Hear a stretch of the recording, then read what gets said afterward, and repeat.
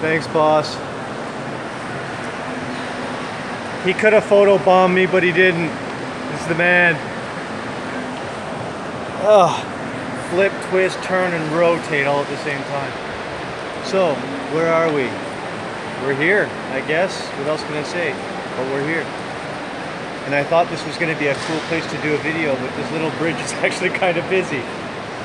But welcome to the Eaton's place. A lot of fun here growing up, running around, skateboarding, getting chased. Anyway, this whole weekend has been a nostalgia weekend for me. But this is the place to be. It's another place where you could easily spend a weekend looking at everything, doing your shopping.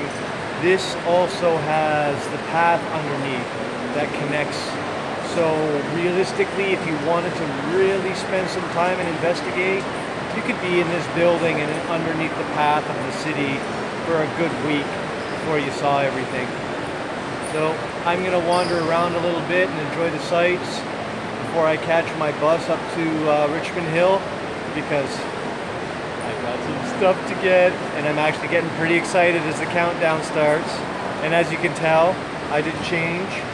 I got out of the clothes that I got all rained on. So that's always a good thing. So let's go check out the Eaton Center.